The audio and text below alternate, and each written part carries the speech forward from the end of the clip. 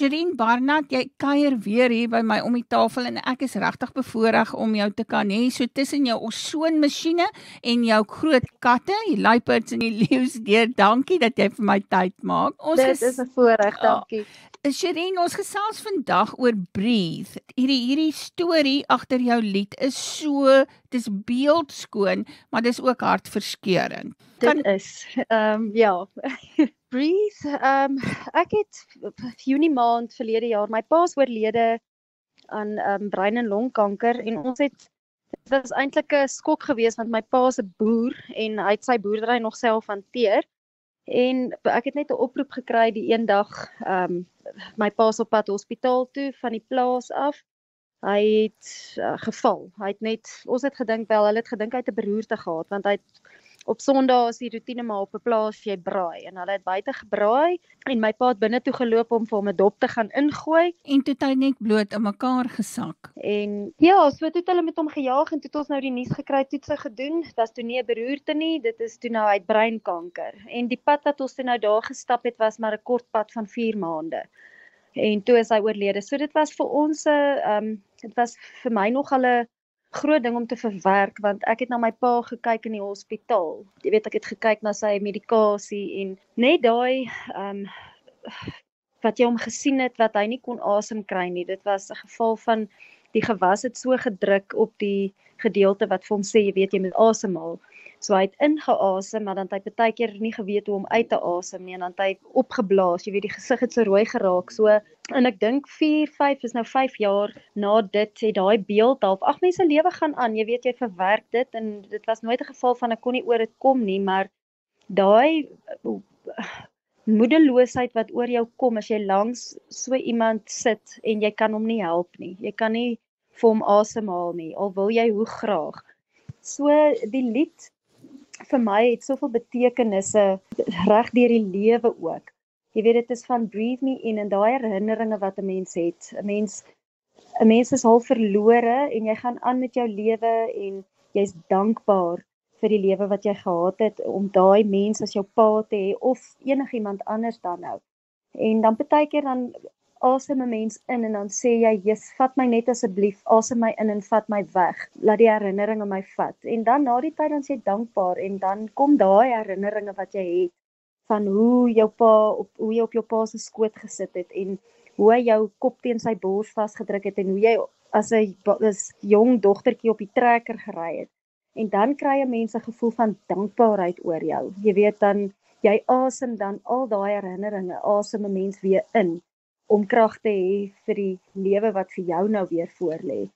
So dit is 'n baie um spesiale liedjie. Vir my gaan dit absoluut oor in plaas van om hartseer te wees. 'n Mens moet hartseer wees, maar mens moenie laat dit jou lewe oorneem nie. Jy moet eerder daai um herinneringe wat jy het, daai goeie herinneringe en die dankbaarheid wat jy het om 'n lewe te gehad het saam met 'n persoon, moet jy inasem en dit met jou suurstof wees om vir jou weer in die lewe aan te vat. So dis absoluut 'n lied van dankbaarheid en dis 'n lied van seer om te sê, "Jesus, ek wens net ek kon vir jou asemhaal. Jy kan my maar inasem, ek sal jou asem wees."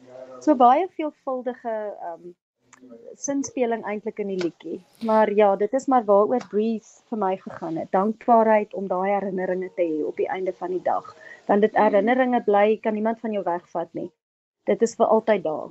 Die seer gaan weg en die rou gaan weg en die die pyn gaan weg en die verlange gaan nooit weg nie, maar daai herinneringe kan niemand van jou wegvat nie. Dit bly jou altyd daar. Dis tydloos. En ons moet dit inasem. Dit dis 'n bitter soet want die ding is, ja, is. jy is gelukkig om daai seer te kan hê want jy het so iemand in jou lewe gehad wat so merkwaardig was maar die realiteit is uh, hulle is nie meer daar nie. D dis miskien 'n selfsugtige idee. Ek dink daai selfsugtigheid wat jy het ek dink ek het met my pa gepraat 2 3 keer op 'n dag. Jy weet ek is hier in die stad of ook op 'n plaas maar in die stad en hulle is 300 km weg Maar daai hoeveel keer nadat hy nou nie meer daar was nie, want jou pa bly maar jou pa. Jy weet en jou ma bly jou ma. Uh, as jy uit die huis uit gaan, jy kan nie wag om uit die huis uit te gaan nie. My kinders spot altyd. Dan sê ek vir hulle ja, julle moet maar wag. Ek was ook so rammetjie gewees en tot ek nou uit die huis uit is, dan jy my altyd gebel. Jy het my elke dag gebel want jy mis dit. So ek ek het myself in daai jaar na sy dood, het ek ons was baie close. So ag ek het hom sommer gebel oor die boerdery en dan het ek vir hom gevra want ons het baie saam my pa gery in die lande. So jy weet en jy het geweet wat gaan in die boerdery aan en hy was mal daaroor om jou te vertel. En dan ek kom nou vertel van jy weet by my met die leeu's en my boerdery. So ons het baie gesels en dan vind ek myself baie keer wat ek sy nommer bel. Want jy was so 'n gewoonte om sommer net te praat en sonder om regtig raad te vra, het jy maar eintlik gebel om raad te vra oor ehm um, oor dinge in die lewe en sommer net. So daai moet ek vir jou sê dit was nog al 'n selfsugtige eienskap wat ek gehad het wat ek gemis het om net sy stem te hoor op die telefoon. Het jy dit ook ervaar dat die goedjies wat jou geïrriteer het van hom of wat jy verpes het op die einde van die dag die goed is waarna jy die meeste verlang? Nee, definitief, hoor. Kyk, daai hy het gerook. Kyk, my pa was 'n regte boer. Hy het gerook 90 sigarette 'n dag en ons het so met hom geraas. Ons het so met hom beklei en dan sal hy vir my sê: "My Jessie, my kind, maar ek is met jou ma getroud en ek werk met die werkers wat ek het en ek het julle as kinders. Wat anders dink jy moet ek doen as om te rook en te drink?" dat hy 'n alkoholist was, nie, maar hy het sy biertjie in die aand gedrink.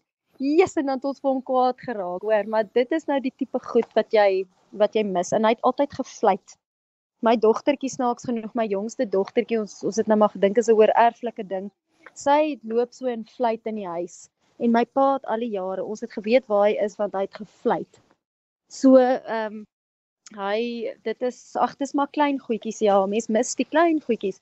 Dis nie altyd goed waaraan jy aandag gee nie tot daai goedjies nie meer daar is nie dan besef jy yes weet jy wat dit was wie hy was en ek mis dit. Sherin, waar kan ons gaan kyk op sosiale media waarmee jy alles doenig is want jy het 'n vreeslike interessante lewe. O, oh, ek het 'n besige lewe ja man. Ek is maar op Facebook en op Instagram. My YouTube kanaal is is gehack net nadat ek Breathe vrygestel het, is my video my hele YouTube kanaal is gehack. So die video is afgehaal. 'n Klomp van my ander video's is ook afgehaal. Ehm um, dit was nou nogal baie hartseer geweest so ek het nou nog nie eers weer daarby uitgekom om daai musiekvideo op te laai nie want ek moet nou 'n nuwe YouTube kanaal skep. So verder is ek maar ehm um, op Facebook en op Instagram. Ek is op YouTube, die goed wat nie gedelete is nie. so uh ja, dit is waar jy my en dan my musiek is al jou musiekstromingsdienste, Jukes. Ek dink daar is seker 50 plus. As jy mos nou maar jou uh, kunstenaar se naam insit of die liedjie dan gooi hy dit outomaties vir jou uit. Dit is waar jy my musiek in die hande sal kry.